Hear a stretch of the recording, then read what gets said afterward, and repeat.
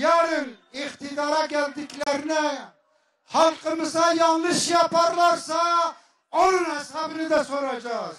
Bunu da bilmeleri gerekiyor. Bu sözleri seçimlerde destekledikleri Millet İttifakı'na söyledi. HDP, Kemal Kılıçdaroğlu ve diğer ittifak üyelerini açık açık tehdit etti. Evet bugün bir millet ittifakı var. Kılıçdaroğlu'na partimiz destek vereceğini açıkladı. Ama herkes şunu bilsin. Yarın iktidara geldiklerine halkımıza yanlış yaparlarsa onun hesabını da soracağız. Türkiye yaklaşık bir hafta sonra sandık başına gidecek. Cumhurbaşkanı adayı çıkarmayarak Millet İttifakı adayı Kemal Kılıçdaroğlu'nu destekleyeceklerini belirten HDP, düzenlediği her mitingde terörist başı Öcalan ve terörden tutuklu HDP'lilerin serbest bırakacağı vaadinde bulunuyor.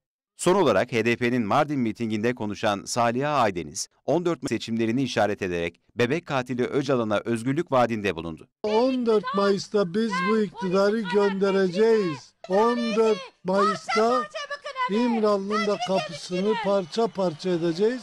Tecrite son vereceğiz. Aynı mitingde konuşan HDP'li Ahmet Türk ise Kılıçdaroğlu'nu desteklediklerini yineleyip yanlış yaparlarsa hesabını soracaklarını söyledi. Yarın iktidara geldiklerine halkımıza yanlış yaparlarsa onun hesabını da soracağız. Bunu da bilmeleri gerekiyor.